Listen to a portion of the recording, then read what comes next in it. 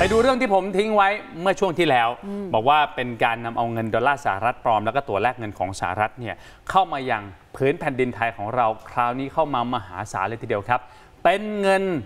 ฟังไม่ผิดแน่นอนครับคุณผู้ชม 2,400 ล้านดอลลาร์สหรัฐ ประมาณเป็นเงินไทยก็กว่า 80,000 ล้านบาท 80,000 ล้านบาทเลยนะคะโอ้จากโหนี่คือลาวเยครั้งมโหฬารครับแต่ว่าที่มันน่าสงสัยแล้วก็แปลกกว่านั้นอีกครับ เพราะว่า สองพ่อลูกชาวลาวที่นำมาขายให้กับคนไทยเขานำเอาพันธบัตรที่มีมูลค่าสูงในเงินดอลลาร์สหรัฐเข้ามาด้วย สูงฉบับละ 1 ล้านบาทแล้วก็ 100 ล้านไม่ใช่บาทดอลลาร์สหรัฐดอลลาร์สหรัฐ1ล้านดอลลาร์กับ 100 ล้านดอลลาร์สหรัฐมีพันธบัตรแบบนั้นด้วย เอาไปซื้ออะไรอะเอามาดูกันนะครับเขาเอามาได้อย่างไรแล้วเอาไปขายให้ใครนะฮะธนบัตรปลอมแบบนี้ครับตรวจยึดมาได้แยกเป็นฉบับละ 1 ล้านดอลลาร์สหรัฐ 200 ฉบับนะครับ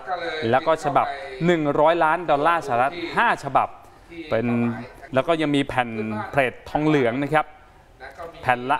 500 ดอลลาร์สหรัฐ 3 แผ่น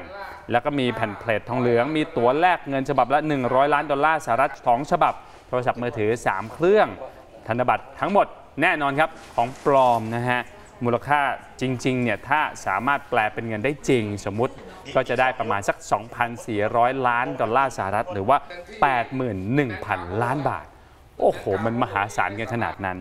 ยึดมาได้จากนายกองไซศรีมุนทาอายุ 58 ปีครับ เป็นชาวเมืองศรีสัตนาคแขวงนครหลวงเวียงจันทร์สปปลาวนะครับซึ่งมาพร้อมกับลูกชายอีกหนึ่งคน แล้วก็พันธบัตรปลอมทั้งหมดแบบนี้นะครับอยู่ภายในห้องพักของรีสอร์ทเตรียมมาส่งมอบ กันที่รีสอร์ทแห่งหนึ่งในตัวเมืองหนองคายครับคุณผู้ชมครับ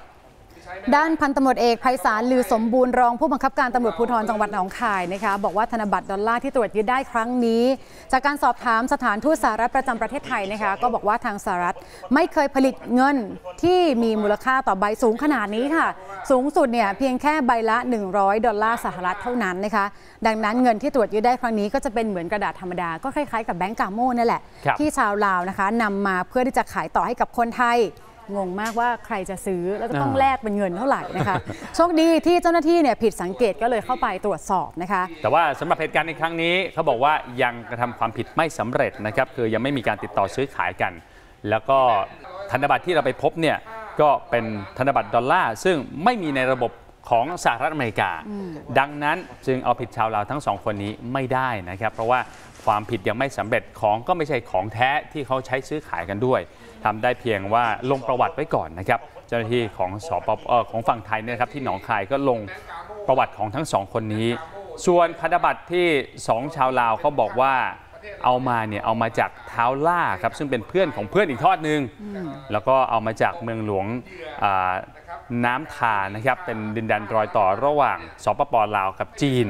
นะครับอันนี้ของกลางก็จะส่งให้กับสพเมืองหนองคาย เอาเก็บไว้ก่อน เก็บไว้เป็นหลักฐานกันต่อไปนะครับ